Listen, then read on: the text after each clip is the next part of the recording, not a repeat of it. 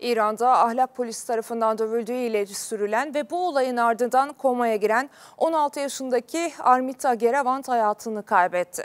Gerevant'ın yaşadıkları geçen yıl öldürülen Mahsa Amini olayına benzetilmiş ve olayın ikinci Amini vakası olduğu iddia edilmişti.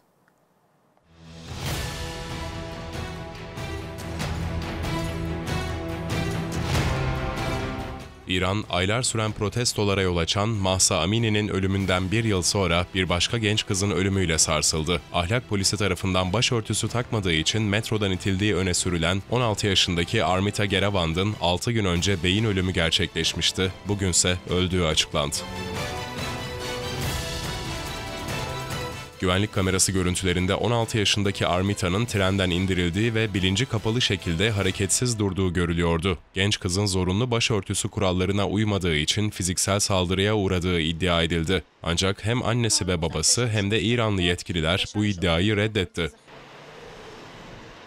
Armita'nın beyin hasarına bağlı koma sonucu hayata veda ettiği kaydedildi.